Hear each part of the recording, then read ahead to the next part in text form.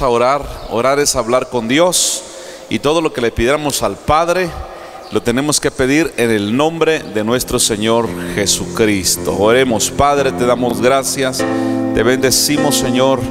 Glorificamos y exaltamos tu nombre en este día, Señor, que nos permites eh, escuchar tu palabra. También alabarte y glorificarte, Padre. Gracias por ser tan bueno, Señor. Te amamos, Señor, mi Dios, te, te bendecimos. Te damos a ti, Señor, toda la honra y toda la gloria y disponemos nuestro corazón, Padre, para recibir tu palabra. Tu palabra nos instruye, pues escrito está que por falta de conocimiento el pueblo perece. Gracias, papito lindo, en el nombre de Jesús. Amén y amén, Señor. Gloria a Dios. Vamos a, a la Biblia, en el libro de el Eclesiastés. Aquí en nuestra Biblia se conoce como eclesiastés, pero también se le conoce como el predicador o como el que congrega, el que junta gente, gloria al Señor. Capítulo 5 de Eclesiastés.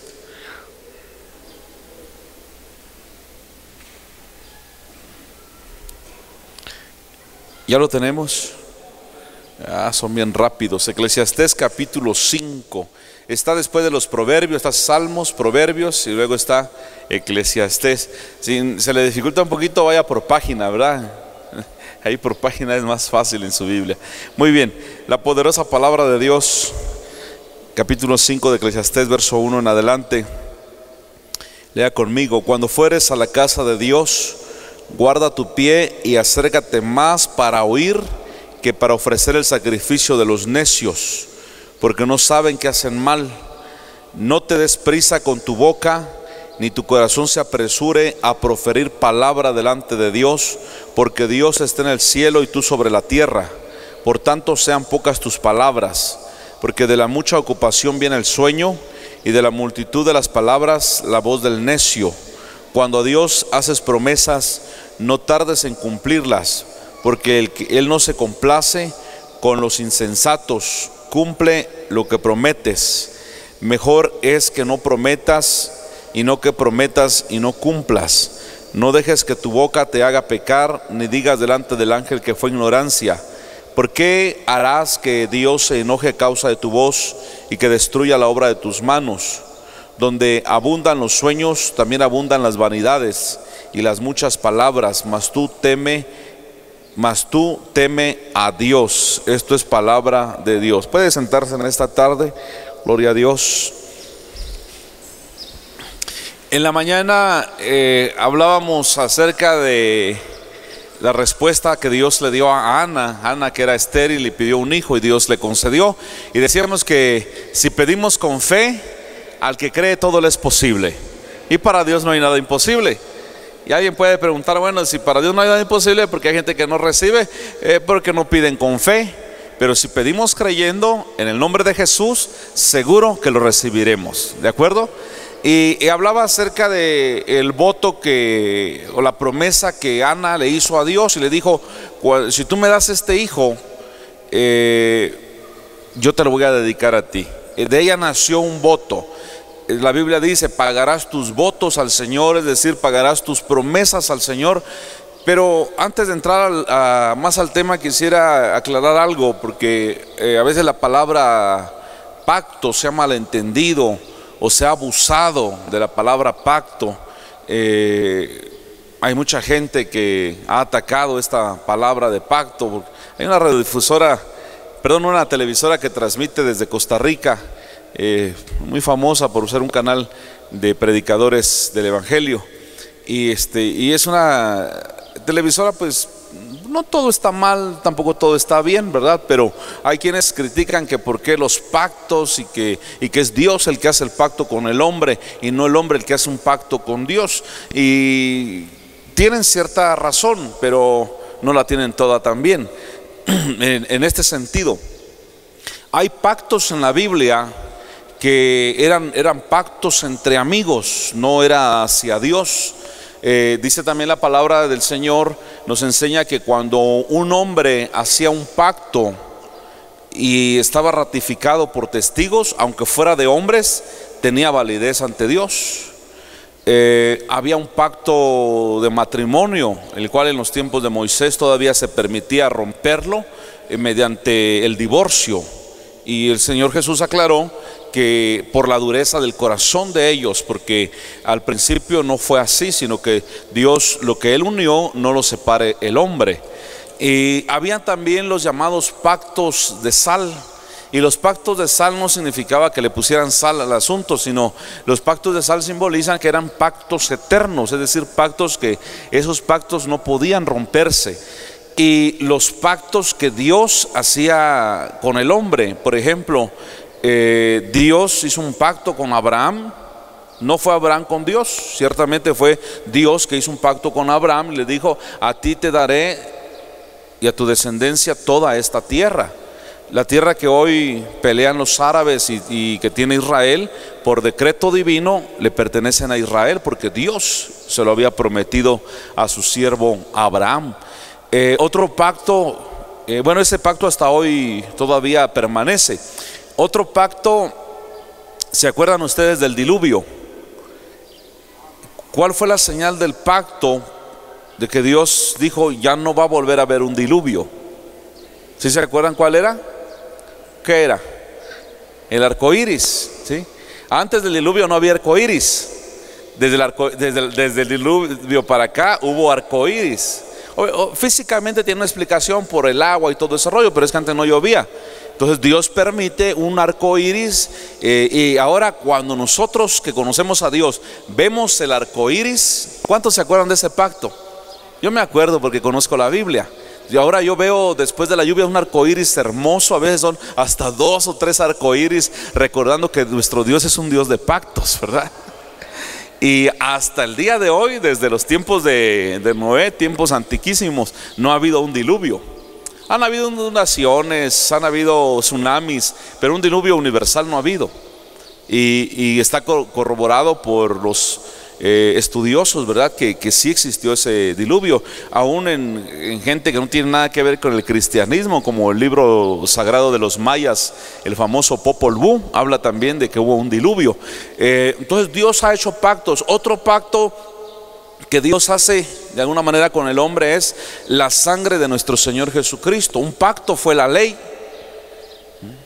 Después de la ley viene otro pacto de parte de Dios hacia el hombre. Por eso Jesús dijo, eh, esto es mi sangre y esto es mi carne, sangre de, de la alianza nueva, del pacto nuevo entre Dios y nosotros. Hoy el pacto de Dios fue enviar a Jesucristo y Él ya lo envió, para que todo aquel que en Él cree no se pierda, mas tenga vida eterna, dice la palabra. El pacto está vigente todavía, que a través de la sangre del Señor, vamos a ser salvos.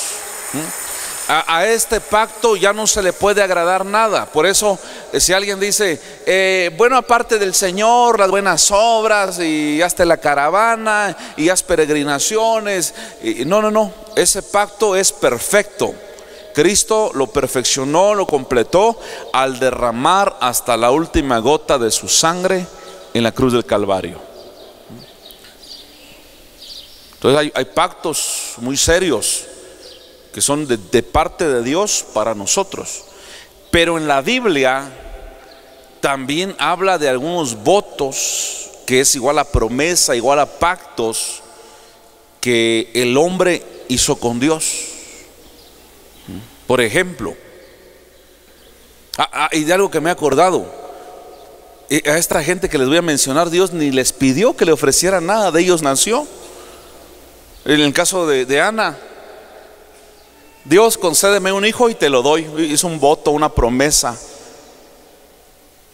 ¿Le estaba pidiendo Dios ese hijo? No.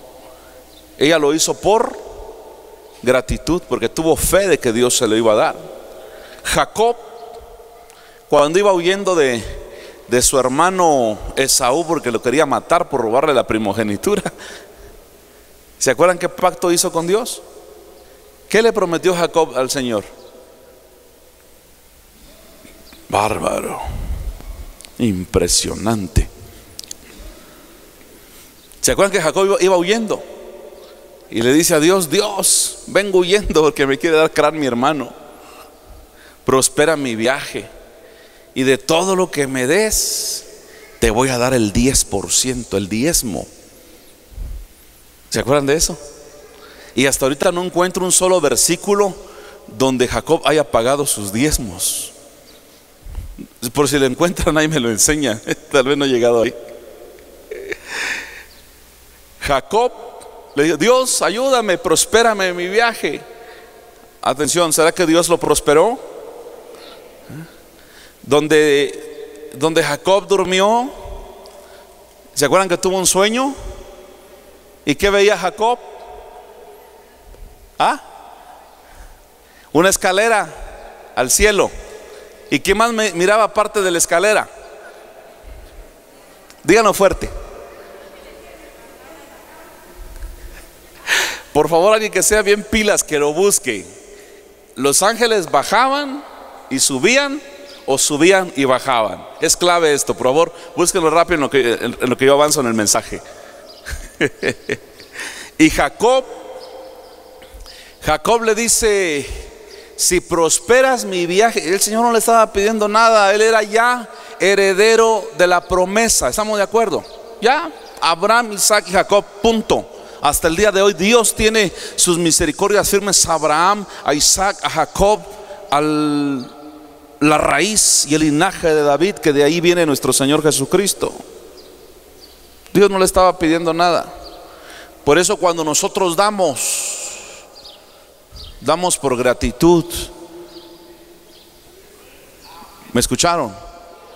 Cuando usted da no dé la impresión de que, ay, es que ahora dijeron que tenemos que dar para no sé qué y para no sé. No, no, no, mejor ni dé nada. Dios no te está pidiendo nada. A ver cómo está. Léelo. Génesis 28, 12. Y tuvo un sueño, y he aquí había una escalera apoyada en la tierra, cuyo extremo superior alcanzaba hasta el cielo. He aquí los ángeles de Dios subían y bajaban por ella.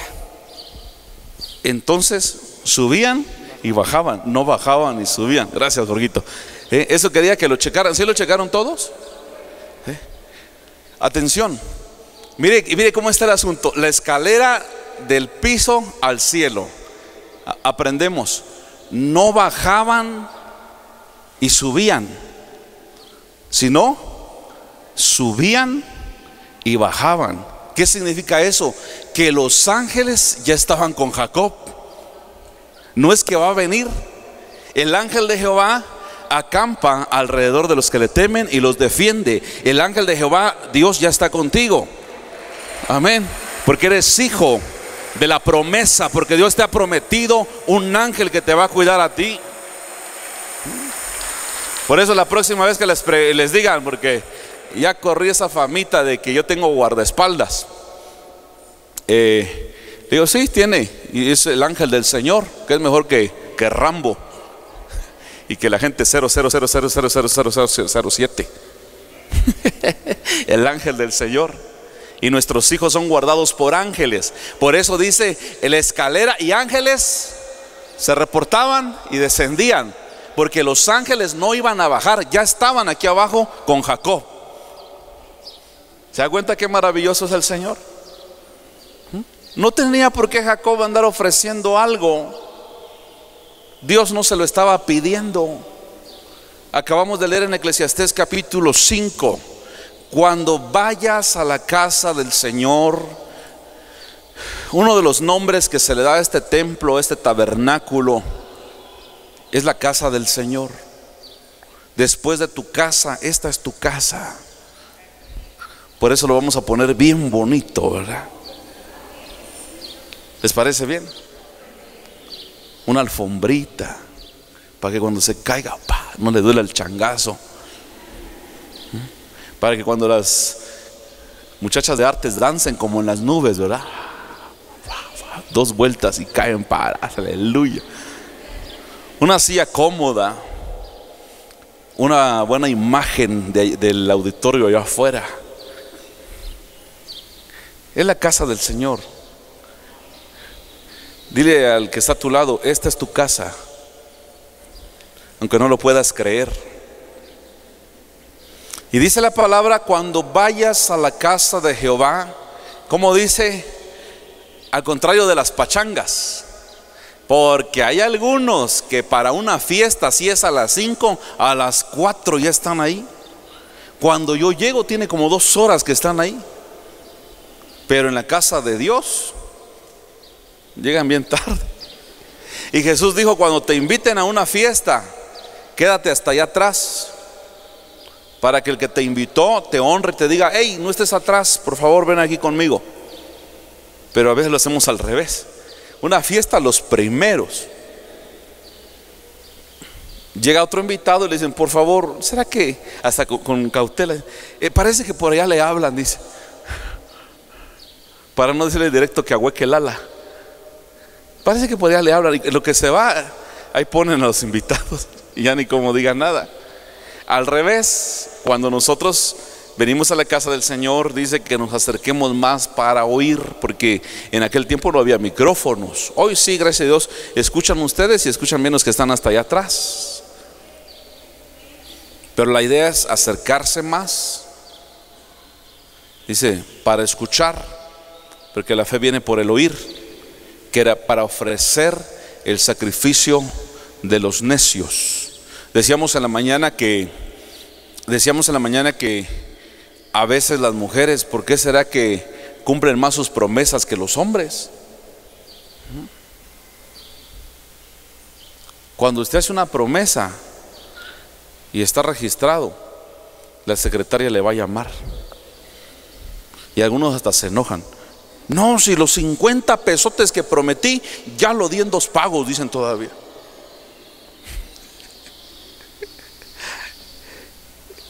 Dios no le está pidiendo nada, excepto su corazón. Cuando usted quiera dar algo para Dios, no lo vea como una exigencia. La Biblia dice, mm, Dios no ve bien al que da con tristeza o por necesidad. Claramente dice la Biblia, porque Dios ama a quién? Al dador alegre. Y porque Dios dijo todo esto porque Él sabe la condición del hombre, que el hombre es fluctuante, el hombre cambia. El hombre hoy te dice que está contigo, mañana te dice que ya no está contigo.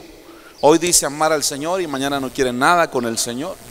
Hoy quiere todo con Dios, pero cuando empiezan los problemas ya no quiere nada con Dios, quiere todo con el diablo. Por eso el Señor advirtió. ¿Para qué se va a enojar el ángel que está ahí? Eh, eh, algunos dicen es el pastor que está escuchando. Es el ángel que el Señor ha enviado a las iglesias en el sentido de cuidadores, de observadores. Se va a enojar el ángel contigo porque prometiste y no cumpliste.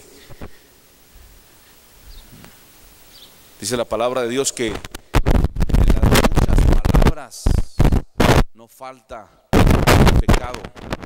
El que habla mucho, uh, hasta por los codos habla, no falta pecado en sus palabras. En una enseñanza que ya les he compartido hace algún tiempo, eh, les enseñaba que uno de los motivos de la pobreza es hablar mucho. Ya, ya no hable mucho.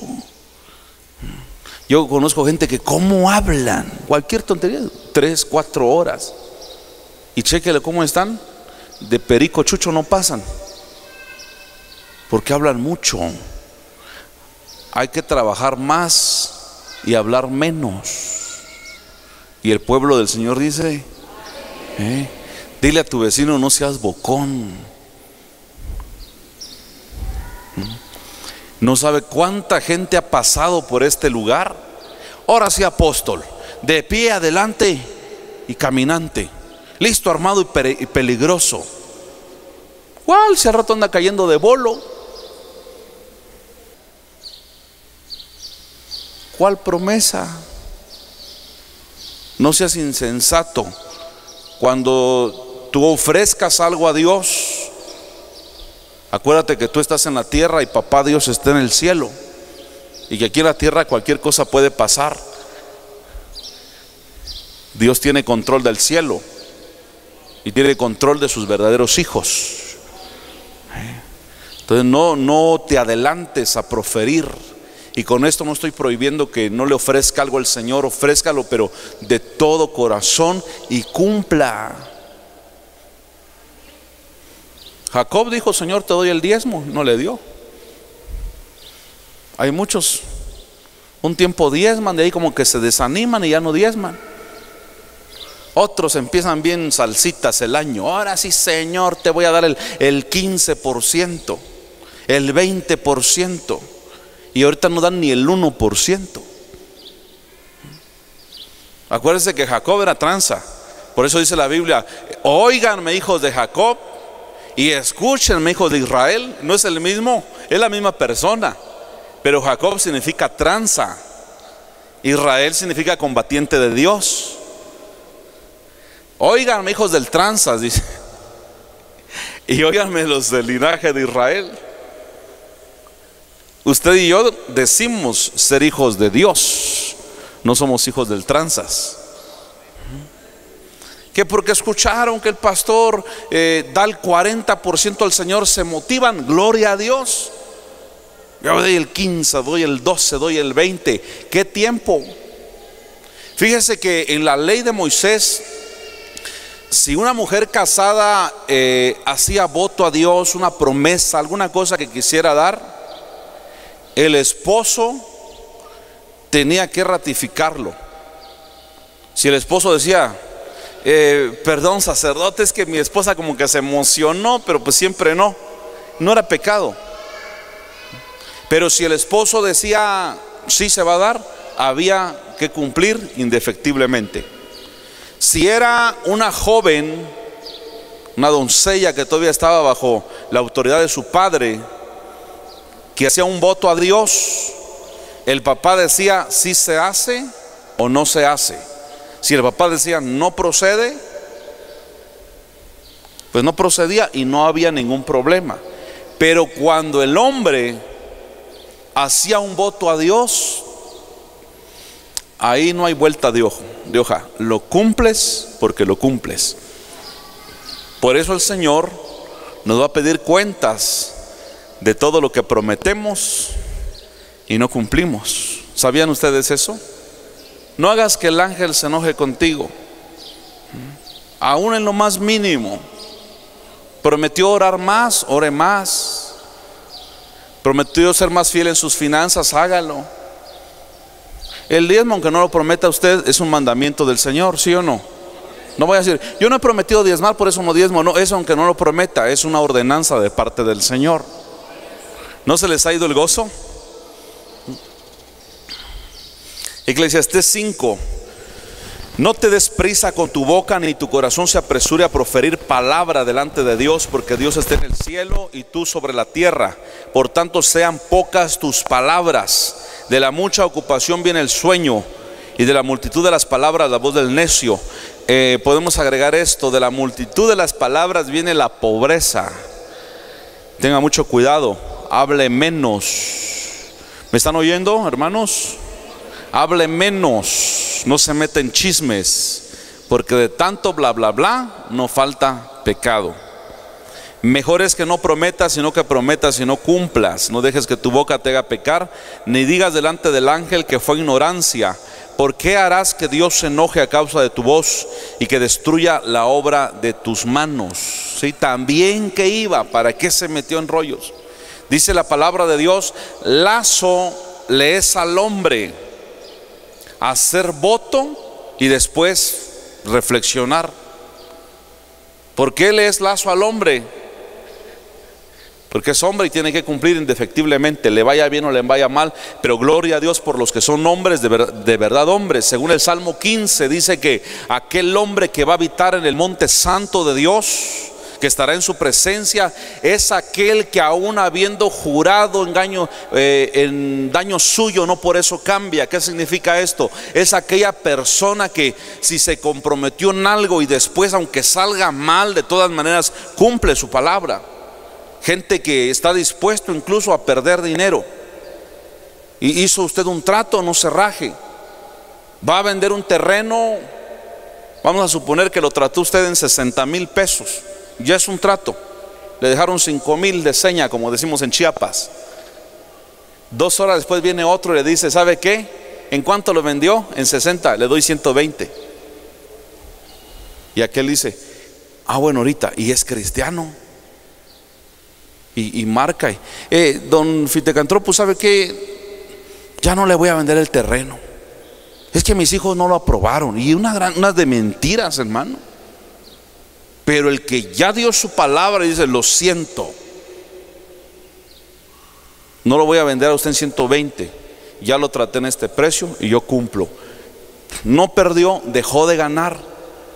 Ese tipo de personas estará en el monte santo del Señor. Esa gente es gente de fiar. Mm, los veo muy serios, como que hay mucho trance aquí en la iglesia.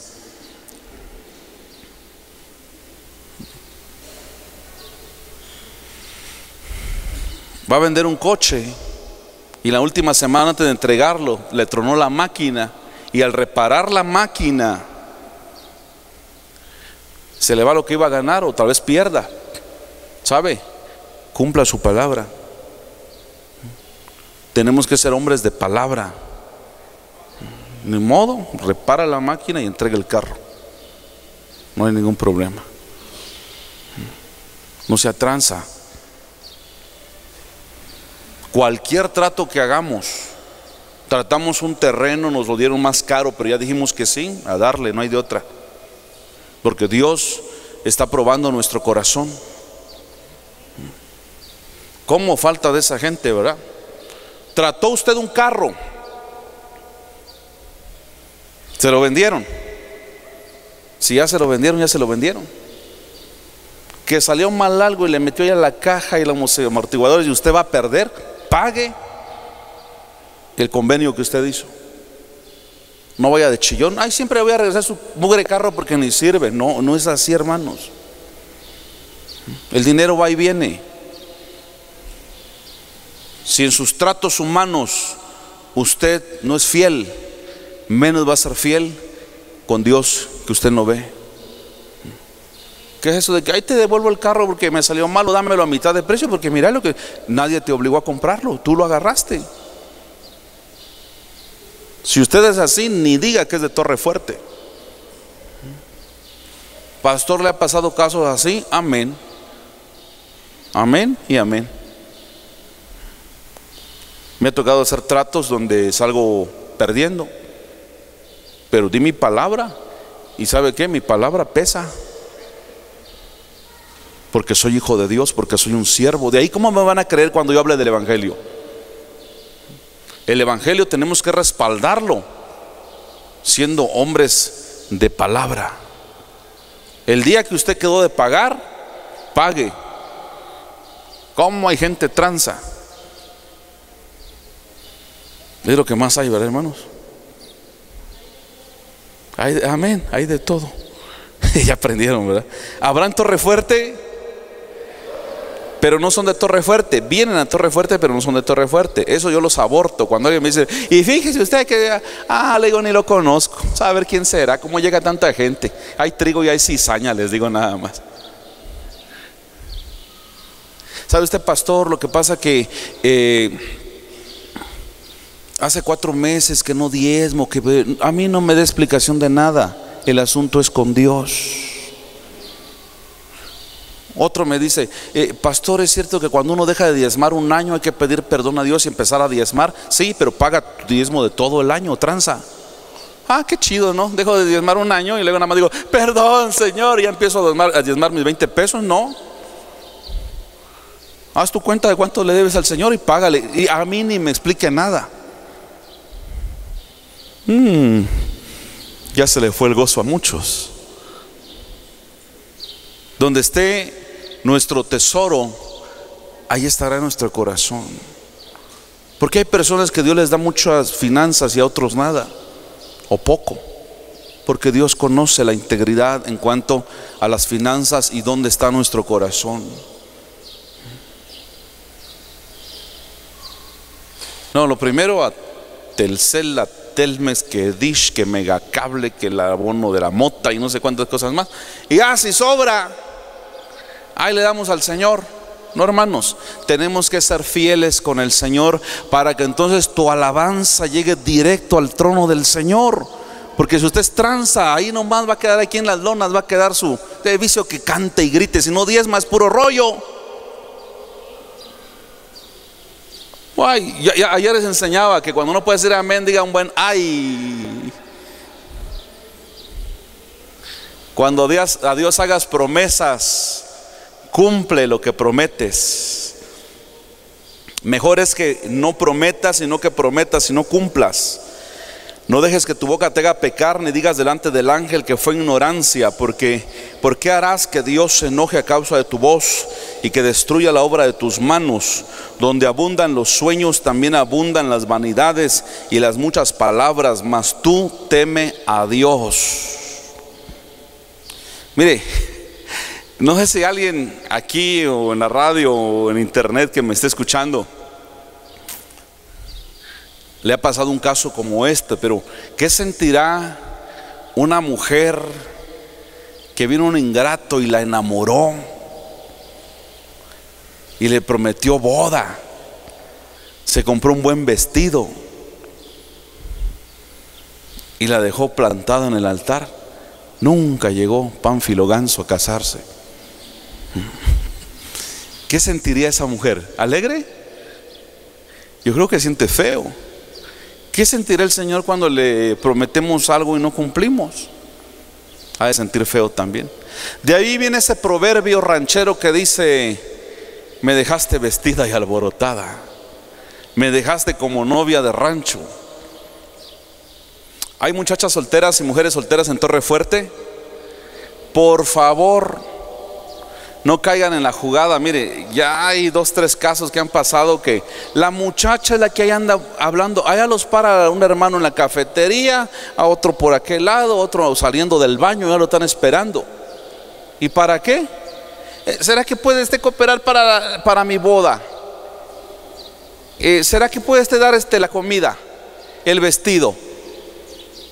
Bueno, y uno dice, ¿y dónde está el novio? Ah, es que no puedo venir si ni siquiera da la cara por ti para pedir esos apoyos, menos que te, que te cumpla. Si usted va a pedir que alguien le apoye, vaya a la casa de la persona con todo respeto. ¿Qué es eso que hay a la carrera atajando a la gente, hermanos? Eso no es de cristiano, no es de Dios. Quiere pedir un apoyo, vaya a la casa de la persona. ¿Estamos de acuerdo? ¿Mm? Porque si el, hombre no te está eh, acompañando a pedir esos apoyos, yo dudo mucho que te ame. Y lo digo porque quiero que la iglesia se corrija siempre. Y hasta quién sabe si yo participe en la boda. Pues sí, ¿cómo voy a unir ahí yugo desigual? Si uno es hijo del pucú y la otra es hija chamuscada del Señor. medio zancochadona, ¿verdad? Ha pasado, ahí anda, buscando. ¿Qué para anillo? ¿Qué para lazo? Le voy a traer un lazo, pero de esos que usan los de las carreras de aquí, ¿ve? Le voy a dar dos para que se alivian. ¿Mm? ¿Cuál es tu prisa? Y después Alguien le dijo que sí, que sí, que sí, que sí, que sí, y por último no se casó. Y ahora, es que mi novio ya no quiso. De verdad, hermanos, parece chiste, pero pasa. ¿Qué tipo, con qué tipo de hombre vas a hacer un pacto ante el altar de Dios? Ah, hubo un tipo, uno que le decían el feyo. Este feyo, está bien feyo, ¿verdad? Eh, viene de su encuentro emocionado. Y quiero aquí delante del pastor y, los servidores decirles que con mi mujer vivimos en fornicación porque eh, tiene tres años que estamos en fornicación y no me he casado con ella. Y prometo delante del Señor y de su siervo y de los santos servidores y de los ángeles y los arcángeles que no la vuelvo a tocar como mujer hasta que yo me case con ella.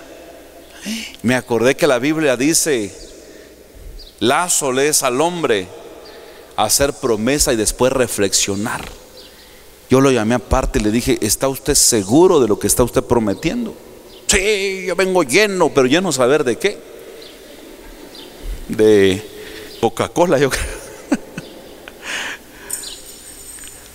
Hombre, ¿Hay hombres casados aquí? ¿Ustedes creen que ese pacto es posible? Está difícil.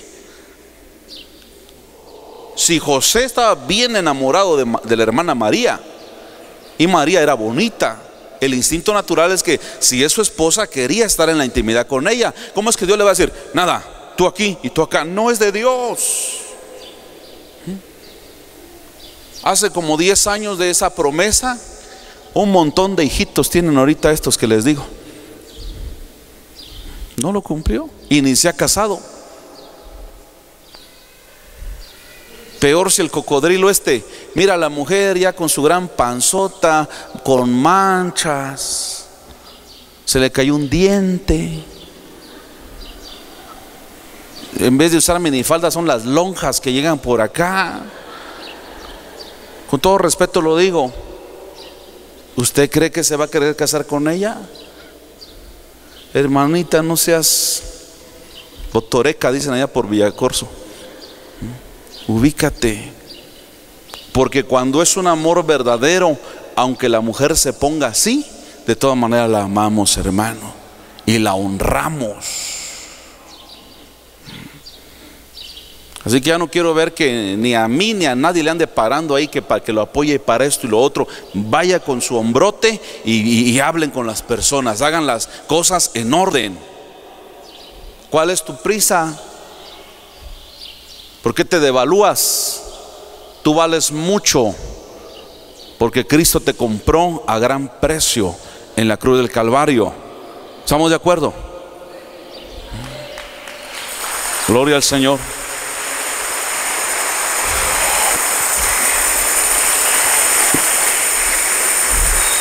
Decía hace muchos años un hombre que ya está a fuego lento. Decía, miren, aquella señora tiene yerno comprado y tiene marido comprado. Y, ya se escuchaba la explicación, ¿por qué? Por lo que le digo. Otro dicho que escuché desde que me convertí, decía una hermana, yo, mi yerno, que sea bien cristiano, aunque yo le compre las chanclas. Ah, y todo me decía, qué bueno. No, si es bien cristiano, tiene para comprar sus caites. ¿Sí o no? No he visto a justo desamparado ni su simiente que mendigue pan. No que bien cristiano aunque no tenga zapatos, entonces no es bien cristiano. Porque Dios bendice a sus hijos. ¿Verdad que sí? No te preocupes, hijito. Con tal de que te cases con mi hija, ten para tus zapatos. Es más, cómprate unas botas, ahí te va una lana más. Y cómprate el traje. No, el que quiere azul celeste, ah, bien que saben el proverbio. El que quiere azul celeste, eh, así que muchachona, no sean regaladonas, dense a, a respetar. El que quiera azul celeste, que le cueste. ¿Sí? ¿Qué es eso de que quieren algo ni un regalo llevan? Para empezar es un tacaño.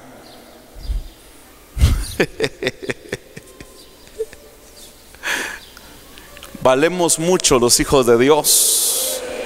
En la mañana decía que somos carísimos, no somos de a peso, porque Cristo nos compró un precio muy alto en la cruz del Calvario. Aleluya. Gloria a Dios. Hasta dice un, un pastor de, de, allá de otro planeta. Dice que cuando alguien le pide permiso para sacar a su hija a tomar un café, le pregunta, ¿diez más? No, ah, no. Si a Dios le robas, capaz me robes mi hija. Hace un tiempo vino un predicadorcito, delgadito, jovencito, de otro país así muy, muy salsita, de esos que como muy finitos y que mucha unción y que no sé qué. William lo quería abrazar y no se dejó. Eso no lo vi yo, porque si yo lo veo, lo corro. A mí, si William me quiere dar un beso, que me bese. Ven para acá, William. Ven acá, hijo mío. Esto a mí nadie me lo dijo, a mí me comentaron. Que le dijo a una mujer, que, no se me acerque. No, no, no, ¿por qué no? Yo, yo dije, ah, ¿cómo no lo vi? Dije, yo este ahorita me lo expulso de Torre Fuerte. Ven acá, hijo amado. ¿Sabían que este es uno de los hombres más fieles de Torre Fuerte? ¿Sabían que antes de las cuatro él ya está aquí? Los de banderas, ¿sabían que la primera alabanza que Dios recibe es la de él? ¿Lo sabían? Gracias, hijito. Gloria a Dios. Aleluya. Este es mi hijo William. Pásale, William. Cuando botaneamos, hasta agarro botanita, así le digo, para el piquito y este el picote, pum. Le dado su botanita en su boquita a este mijito. Yo dije, yo dije, ah, eso hizo, pero me lo dijeron después. No, que quería salir a cenar con mis hijos y que no sé qué, y que conmigo, que el apóstol, quiero hablar con él, porque fue en otras iglesias en Tuxtla, el culto principal le dieron. Aquí no. Y dije, ¿para qué vos cenés conmigo? Está difícil, le digo. Eres un moco para mí, así como decimos aquí en Sancre, ¿verdad? Tú eres un moco para mí. Le digo a mi esposa, dile que no, que él es un moco para mí. que voy a estar hablando yo con chamacos?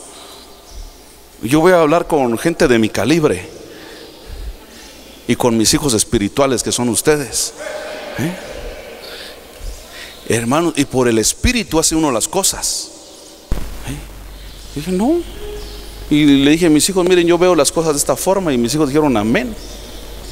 Después andaba diciendo que en cada iglesia que llega, las muchachas se orinaban por él. Dije yo, qué cochinas. ¿Eh? Y que llegó a una iglesia donde el pastor le dijo, cásate con mi hija y vas a ser el pastor de acá. Le digo a mi esposa, ya ves por qué ni la cara le di este moco, le dije. ¿Dónde va a creer que mi hija le haga caso a este carita de zancudo? Dije yo. Me molesté porque no quiso que William lo besara. ¿Me están oyendo? ¿Eh? Tú vales mucho. Vales lo que la sangre de Cristo en la cruz del Calvario. Amén. ¿Sí lo creen? No somos de a peso, somos carísimos. Hay una versión de la Biblia donde el apóstol Pedro dice carísimos, amados, porque valen mucho. Cristo ya nos dio la salvación. No tienes que pagar nada por la salvación. Cuando usted da algo, lo da por gratitud y no ande ahí de bocón. Fíjate que acabo de sembrar tanto. ¿Quién te está preguntando? ¿Mm? Aquí hay gente anónima, sembradora. Y sabe, como en toda iglesia, los que menos lata dan son los que más aportan. Los que todo critican, les cae mal el pastor, la pastora, los diáconos, son los que menos dan. Y los más bocones. Puro címbalo que retiñe. No hay consistencia. Si tú le vas a dar algo al Señor, no sea porque yo te lo pida. No lo veas como una exigencia. Ana hizo un voto a Dios, una promesa y Dios le concedió el hijo, ella lo llevó al templo. Una mujer que cumplió. Jacob ofreció y no cumplió. Y hubo otro que sí cumplió, pero miren de qué manera. Siempre que hablo de esto, obligadamente tengo que mencionar a un hombre llamado Jefté. Resulta que el Jefté era hijo de una prostituta, era hijo de adulterio, ¿sí? de, su padre Galat con, con, una prostituta, una ramera. Eh, como en aquel tiempo no habían anticonceptivos de los que hay ahora, pues la ramera se embarazó o a lo mejor eh, por el hijo quería quedarse con él, no, no sé qué pasó, pero el chiste es que, que Jefté nació, y decíamos en la mañana, no por accidente, sino por la voluntad del Señor, ¿de acuerdo? Y cuando él creció, los hijos, llamados hijos de casa, de matrimonio, corrieron a Jefté de la casa, le dijeron, salte de aquí bastardo, no vas a heredar con nosotros. Jefté es desechado, allá crece y se junta con un montón de hombres ociosos y malvivientes, tipo David. Y, y llega a ser de estos hombres un gran ejército. Esto ocurrió en el tiempo de los jueces, cuando cada uno hacía lo que bien le parecía, no había rey en Israel. Y hubo amenaza contra Israel y los ancianos de la ciudad vinieron a hablar con Jefté y le dijeron, sé tú nuestro caudillo y vamos a ser nuestro jefe. Y ahí este pues estaba amargadote, empezó a sacar sus amarguras, dijo, sí, ahora me vienen a buscar, pero cuando mi madrastra y mis hermanastros me corrieron, nadie me defendió, pero está bueno, dice, voy a pelear por ustedes y voy a ser su mero padre, les dijo. Y los viejitos dijeron, amén. No era casualidad que Jefté naciera, era la voluntad de Dios. Y arma a sus hombres y se va a pelear, pero antes de ir a pelear, mire, Dios no le estaba pidiendo nada. ¿Sabía usted que todo lo que hacemos para Dios, Dios lo toma en cuenta? Tal vez hoy, al igual que muchos que no vinieron a la celebración, usted tenía sueño, cansancio, Peor si todavía va a hacer tarea llegando a casa o mañana va a ir a trabajar. Tuvo la tentación de quedarse en cama. Pero el levantarse, el venir a danzar, a cantar, a alabar a Dios, Dios lo está tomando en cuenta. Cuando usted ayuna, Dios lo toma en cuenta. Cuando usted ora, Dios lo toma en cuenta. Cuando usted evangeliza, Dios lo toma en cuenta, ¿sí o no? Pastores, el cansancio que ustedes tienen de ir y venir porque trabajan a un ritmo muy tremendo, Dios lo está tomando en cuenta. ¿Mm? En el libro de las memorias, hay varios libros en el cielo, ahí está apuntado lo que usted está haciendo. Cuando usted da para una silla, está apuntado. Usted da para el terreno, Dios lo apunta. Tal vez yo no lo digo en público, quién dio, quién no dio, porque no, lo, no muy lo acostumbramos, pero Dios sí lo tiene en cuenta. ¿Estamos de acuerdo? Pero ¿qué pasa? Si usted se enoja conmigo o con alguien de la iglesia, ya se va. Ya me voy, ya me cayeron mal estos de Torre Fuerte. Y me llevo mis tres sillas que di y ahí van cargando su silla. Y me llevo, me llevo mi metro de terreno que di. Ahí se llevan el metro de terreno. No, ¿verdad? No se lo llevan. Pero ya la regó porque eso ya Dios lo tenía registrado para galardón de usted. Usted ya la regó, ¿para qué se pone de bocón a hablar? Si Dios no le estaba pidiendo nada. ¿Sabe qué? Jefté dijo, Dios, si me das la victoria sobre mis enemigos, cuando yo regrese en victoria, la primera persona que salga de mi casa a recibirme, te lo ofreceré en sacrificio. Él pensó que iba a salir su suegra. Él pensó, yo creo que iba a salir su abuelita de 145 años. Usted sabe quién salió a recibirlo. Una doncella, una joven adoradora con su pandero a recibir a papá. Y Jefté sintió horrible. Y dijo, hija mía, hoy me has traspasado el corazón porque yo le hice un pacto a Dios que si Él me daba victoria contra mis enemigos, iba a ofrecer en sacrificio a que saliera. Y más me admira la muchacha, hermanos. La muchacha dice, era valiente. Dijo, Padre, aquí estoy. Cumple tu promesa a Dios Solamente dame dos meses más para llorar mi virginidad con mis amigas. Algunos teólogos dicen que lo que Jefté hizo fue consagrarla a Dios allá en un templo, pero eso no es cierto. Él dijo sacrificio y en otra versión dice holocausto. Y el holocausto es más que el sacrificio. El sacrificio solamente era degollarla y derramar su sangre. El holocausto era, aparte de eso, prenderle fuego. Está bien claro en el contexto. Si yo fuera Jefté y ofrezco a mi hija y sé que va a estar en un tipo convento, pues hay que esté, total, está viva. ¿Para qué me agarro yo las, las ropas? Gloria a Dios que no va a tener marido. ¿Mm? Ni amén, dijo aquella. Escuche, no quiero ver para allá, miren para acá. Mire, pero ¿por qué Jefté se desgarró la ropa? No estaba hablando de meterla en un monasterio. Estaba hablando de matarla, de sacrificarla. Otra vez la pregunta, ¿Dios se lo estaba pidiendo? En toda la Biblia Dios no jamás pidió sacrificios humanos. El diablo pide sacrificios humanos. ¿Sabía usted eso? Eso es del diablo, una mentalidad diabólica. Una mentalidad diabólica que, que se le metió a, a por no estar bien conectado.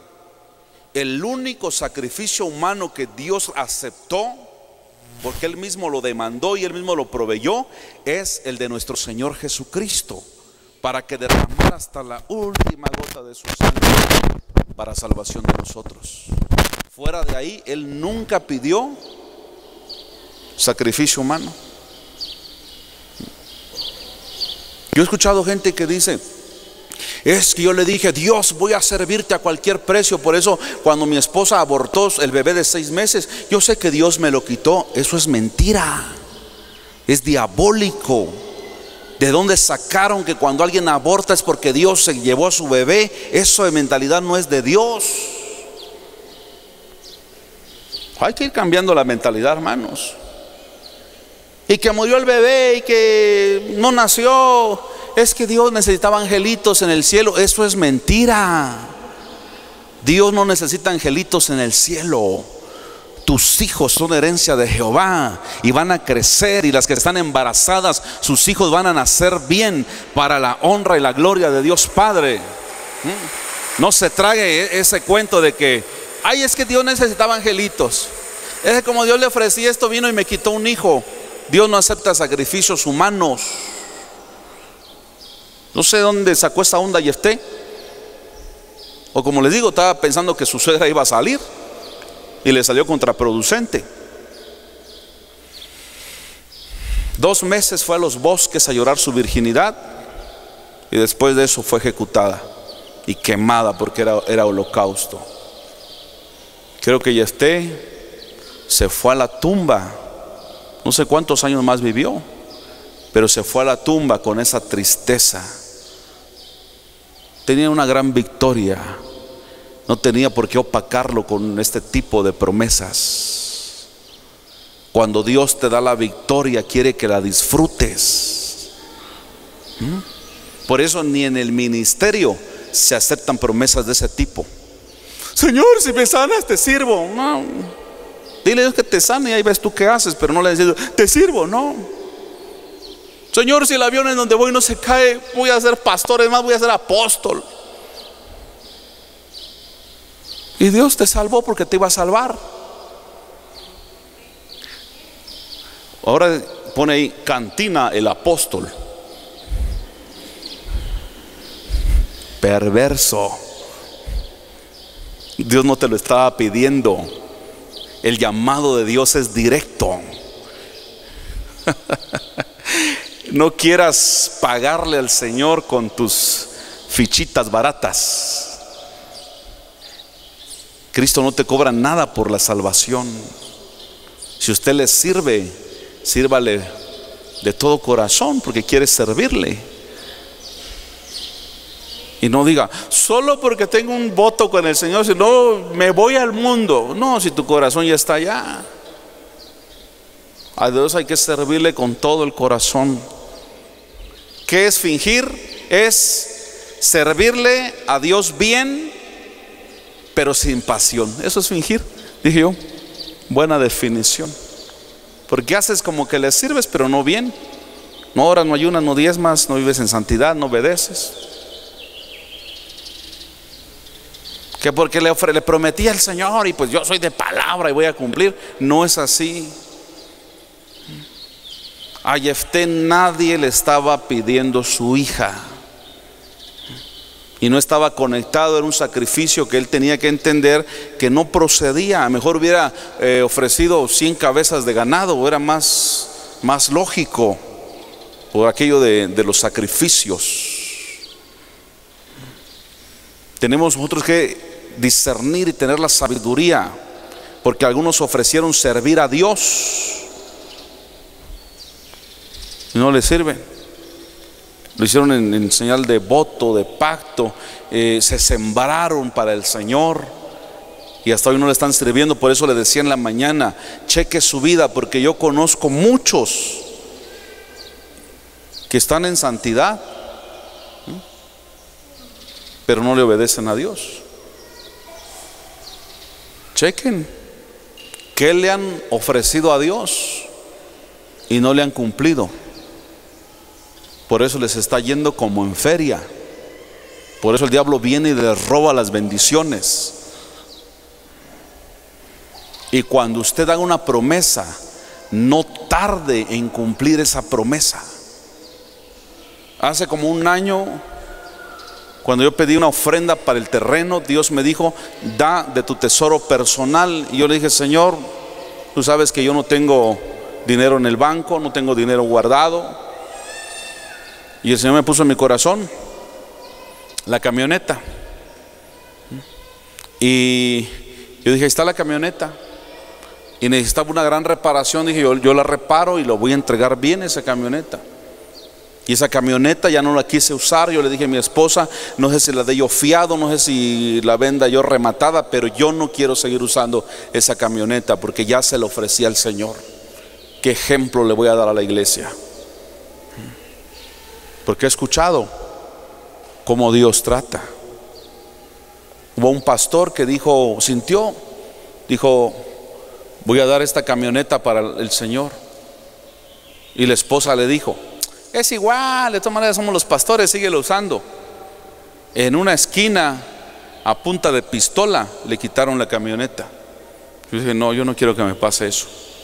Cuando hagas promesas a Dios, cúmplelos rápido no que estás dándole largas y largas como los aboneros de Coppel. Hasta que te demandan y te ya estás en las últimas. No, hermanos. Tenemos que despertar a esto y saber que aún un pacto entre seres humanos se tiene que cumplir, cuanto más un voto con Dios. Antes de que se le vaya el gozo, póngase de pie en esta tarde. Vamos a orar y quiero pedirle al Espíritu Santo que Él nos traiga a nuestra memoria